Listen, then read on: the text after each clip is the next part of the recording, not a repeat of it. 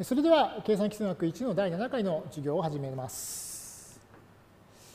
えー、と前回のまとめです。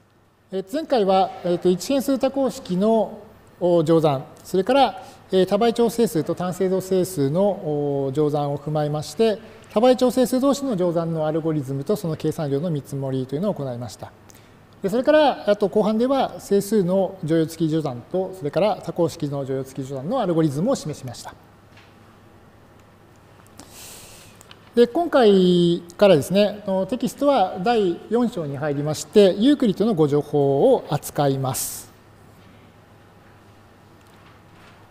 というわけで、えーと、テキストですと、ユークリッドの第4章のユークリッドの互除法で、テキストをお持ちの方は49ページから確認していってください。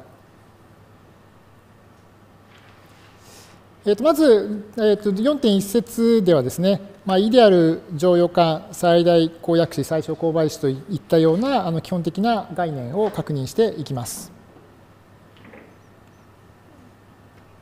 で、最初に、えー、49ページですね、えー、と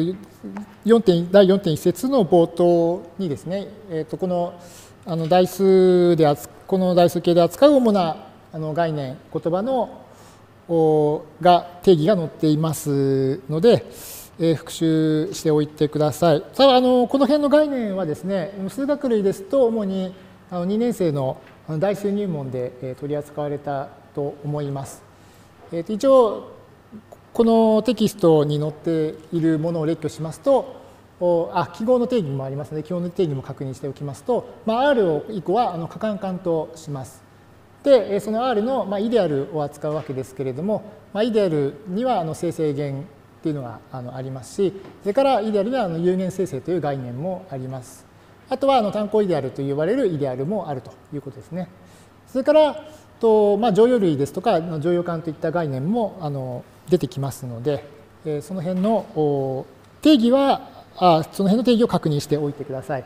えー、と一応、その、初めてですね、この授業でこういった概念に触れるという人もいるかと思うんですけれども、あの基本的な定義はこのテキストの49ページにあの書かれてあります。で、まあ、あの、それ以外で、えっ、ー、と、まあ、説明などが必要である場合には、この講義の時間外などで質問も受け付けますので、あの適宜質問をしてください。それからあとテキストのあの定義4.3ですね、えー、とテキストは50ページですけれども、定義4.3には、とまあ、あのこういったあのこれから使ういろいろな概念の言葉の定義がありますので、一応確認しておきます。えーとまあ、約元、倍元、それから最小公倍子、最大公約子、えー、それから単元、えー、逆元、えー、それから規約の概念ですね。まあ、そういったあの概念がありますので、これも一応あのテキストの方に、えっと一通り定義が載っていますので、あの各自で確認しておいてください。えっとなお、とまあ、最大公約子と最小公倍子っていうのは、あの一般にはあのの可感感では1位とは限らないんですけれども、あの整数間においては、あのこれ正の数ということに取れば、まあ、1に定まるということにも注意しておきます。ここまでよろしいでしょうか。でそれでは第4.2節のユークリッド整域と互除法に進みたいと思います。テキストのある人は51ページからですね、確認していってください。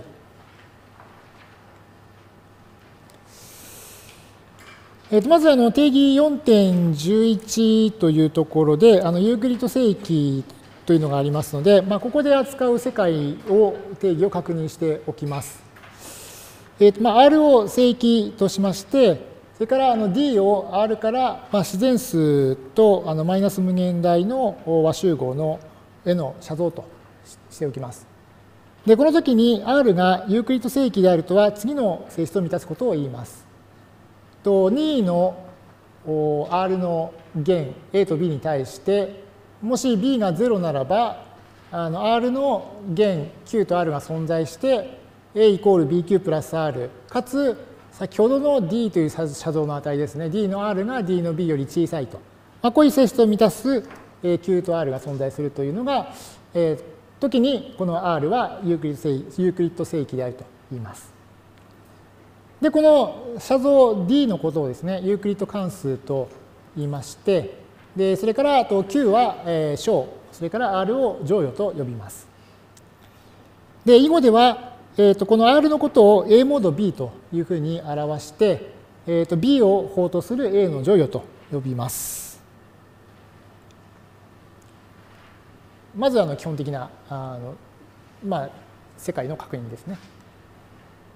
で、あの注意としまして、あの一般にですね、与えられた A と B に対して、あの Q と R、小と乗与が1位に定まるとは限らないというところに注意をしてください。実際にあのそういうユークリッド聖域も存在します。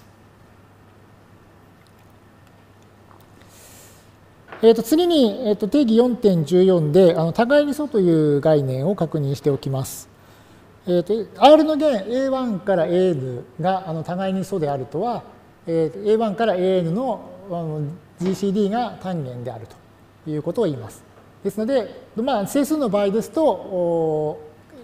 まあ、GCD をですね、あの正の値と定めれば、